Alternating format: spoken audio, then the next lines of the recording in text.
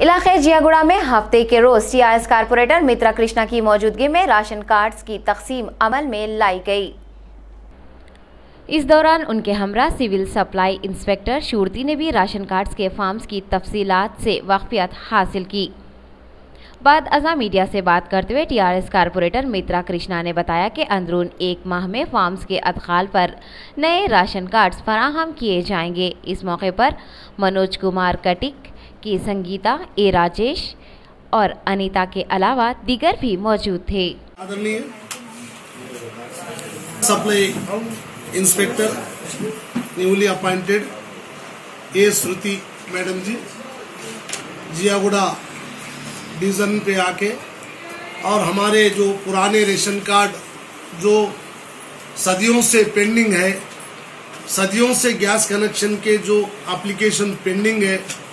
उसके बारे में और जो लोग एलिजिबल है, जो लोग रेशन कार्ड नए लेने के लिए, जो हमारी राष्ट्र गवर्नमेंट ने ऐलान किया कि हर घर घर को रेशन कार्ड पहुँचना, रेशन कार्ड देना, और ये पूरा एक महीने के अंदर ही पूरा करने का जो ऐलान हमारे राष्ट्र गवर्नमेंट ने, केसीआर ने ऐलान किया,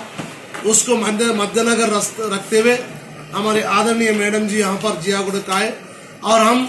उनको और गवर्नमेंट के जो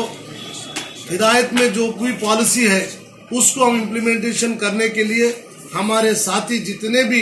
जियाउड़े के तालुक से ward member, area sabha member को, उनको अनुसंधान करते हुए, उनको कोऑर्डिनेशन के लिए जल्द से जल्द पब्लिक के मकान पर जाके जो पब्लिक को हम रेशन कार्ड दिलाने के लिए जो प्रक्रिया है,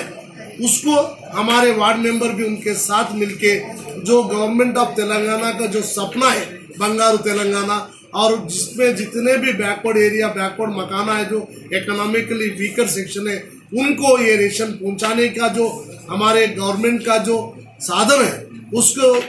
मुकम्मल तक पहुँचाने के लिए हमारे जितने भी कारकुन है, जो ward member, area sabha member है, टीआरएस पार्टी के जितने भी लोग हैं, मैडम का साथ देके जो भी गरीब लोग हैं, जो रेशन कार्ड के लिए नीडी पीपुल्स है और गैस कनेक्शन के लिए जो वो सालों से वेटिंग करे उनको दिलाने के लिए हमारी पूरी जो ward member, area sabha member के जो सैनिक है, उनका साथ देंगे। इंशाल्लाह ताला, जल्द से जल्द उनको ये राशन मिलने के लिए हम पूरा सहयोग देंगे। जय तेलंगाना